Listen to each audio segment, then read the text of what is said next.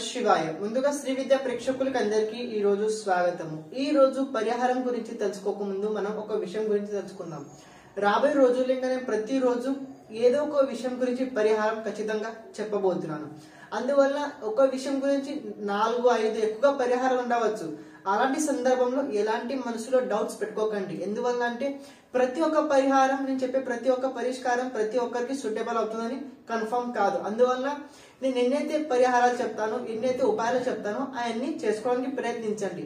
కానీ ఏదైనా ఉపాయం ఏదైనా పరిహారం చేసుకున్నట్లయితే ముందుగా దాన్ని ఫోర్టీ డేస్ ఒక మండలం ఖచ్చితంగా చేసుకోండి. తర్వాతే ఇంకో పరిహారం ఇంకో పరిహారం చేసుకోవడానికి ప్రయత్నించండి. ఒకటి ఈ రోజు ఒకటి రేపు ఒకటిలా చేసుకోవడానికి ప్రయత్నించకండి.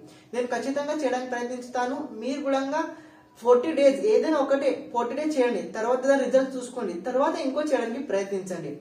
కానీ ఏదో ఒక రకంగా ముందుగా ప్రతిరోజు ఒకటి వేరే వేరే చేసాం అలా అవసరం ఉండదు. ఎందువల్లంటే అది మీ భక్తి కాదు అది అది ఒక మీరు టేస్ట్ అన్నట్టు ఒక రకంగా.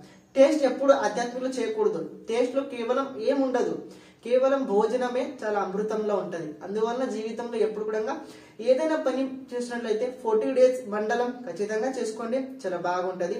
ఈ రోజు నుంచి నేను ఒక ప్రతిరోజు ఏదైనా ఒక విషయం గురించి పరిహారం ఖచ్చితంగా చెప్పబోతున్నాము. ఈ రోజు మనము ఎవరికైతే ఎవరి పేరు మీద అయితే పోలీస్ కేసు కోర్టు కేసు లేదా ప్రభుత్వంతో పట్ల ఏదైనా ప్రాబ్లం ఉన్నట్లయితే అలాంటి వ్యక్తులు ప్రతిరోజు కాలభైరవాష్టక స్తోత్రాన్ని ప్రతిరోజు ఎలెవెన్ టైమ్స్ ఖచ్చితంగా చదువుకోండి. ఏదైనా ప్రాబ్లం ఉన్నట్లయితే సంకల్పంతో చేసుకోండి. ఫోర్టీ వన్ డేస్ ఖచ్చితంగా దాని పరిష్కారం దాని దారి దొరికే అవకాశం ఖచ్చితంగా ఉంటుంది. శ్రీమాత్రే నమః.